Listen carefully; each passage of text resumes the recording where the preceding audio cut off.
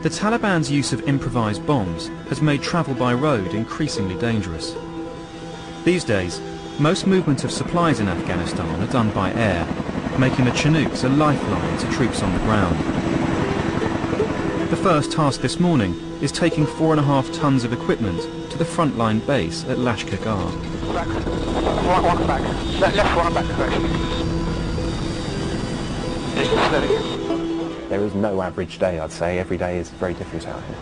Potentially we can be flying for 12, 14 hours before we next have a rest.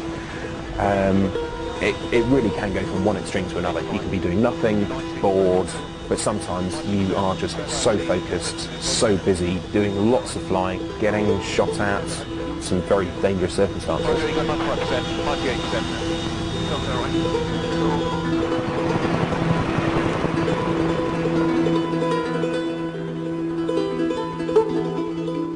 Few places on Earth have seen as many wars as Afghanistan. It's a land where farmers carry Kalashnikov rifles, and there are daily reports of machine guns and rocket-propelled grenades hidden in the hills, just waiting to be used against a passing aircraft. Each Chinook is armed with three high-powered machine guns, and they must always be escorted by an Apache attack helicopter loaded with Hellfire missiles. Despite its rugged beauty, this remains one of the most dangerous places on Earth.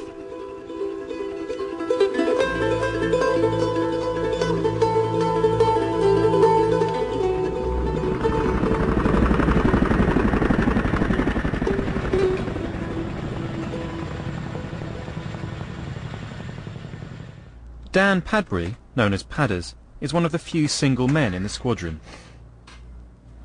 It's a dating website. Up the creek without padders. Body type. Hmm. I put athletic. I'm working on it. I'll say I'm stretching the truth there a little bit. Seven girls have put me on their favourite list so far. What worries me more is their combined weight. Not that's necessarily a bad thing. In this heat, I think a would struggle. If I'm writing like a, an opening gambit, say there's a girl on there that I think looks pretty cool, so I write her just the opening line, the first point of contact. I'll try and write something witty and funny because I know that chances are, you know, every man and his dog's already tried to write her. So I try and come up with something new, witty, funny. What do I get? I get people who write Hi, fancy a chat? Six days after the resupply at Sangin, the squadron have been summoned by the commander of all British helicopters, Colonel Neil Sexton.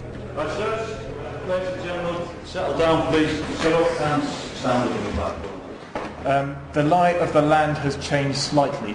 Sangin's got no better. Musa Qala is out of bounds. Now Zad, we always get shot. The American Air Force are about to launch a series of massive air and ground assaults to crush the Taliban in Sangin. I will just go through this and explain all of the different friendly force elements that make up this plan, which is several thousand people. This is the biggest uh, operation that's happened uh, since well before Christmas. We cannot afford to lose an aircraft here. It would be a strategic disaster. Whether it's empty with just your four bodies on board, or whether it's full with 25 or 30 people with their burdens in the back, the loss of an aircraft here would be a disaster. These will be the biggest air assaults since the war began. In addition to their fleets of up to 24 aircraft, the US Air Force have asked for British Chinooks to join them for the night missions into the Sangin Valley. Squadron leader Ian Diggle is learning that the Americans do things differently. With more aircraft comes a lot more planning. I appreciate there's not many of us here. Watsy is still down with the Americans now after a two hour and 20 minute brief about this job tomorrow night. He's now going through rehearsals. Um, my crew stay in bed until after lunch. If the colonel starts getting a hess on, just say, look, we are flying late tomorrow night. We're only be flying for about an hour and a half, two hours, so it's not going to be that bad. But the way this American briefing system goes, you know, we might start briefing in the morning for this. Actually, our piece in this is very simple. It's just an incredibly complicated plan the Americans put together. Any questions? or any any alibis, as the Americans say. But this is a dedicated operation with massive amounts of air power, massive amount of ground troops, and there's there's no doubt in my mind that we will see some, a, b- well, we'll see a big fireworks show. This op, no one knows we're coming in. It's a secret, this one. So we've got the people where we want them. They can't escape. They can't hide in tunnels. It's just fields and compounds. So we're going to go in at night, making lots of noise, to basically attack these people while they're in position, unlike previous ops. So I think this is very, very different. It's probably more dangerous. Um, they'll hear us coming for a while. They'll want to defend themselves because they'll be shitting themselves because there's a lot of high-ranking Taliban there. We need to make sure that we don't get caught up in the American plan of flying in straight and level at crazy speeds, like going slow or high or from strange angles. So I think our job is to get the RAF Chinooks in and back out safely.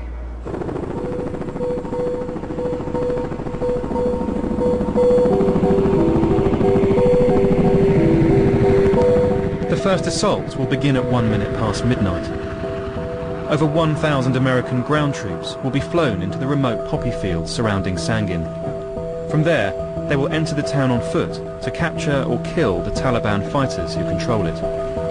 Remember, everyone that's on this aircraft for a little bit longer, this thing's on the ground, big noisy fucking target, bright moon tonight, so off, out, away, go to ground, and that's everyone in the aircraft can get off, get to a safe position, and we haven't got the usual 15 minutes, everyone standing at the ramp fucking about. If you do start feeling sick, I don't know if you, any of you get air sick, no point in sitting there and fucking spewing over the person in front of you and upsetting everyone before we get into the site where we need to be, uh, it goes with any other problems. Let someone know if there's a problem.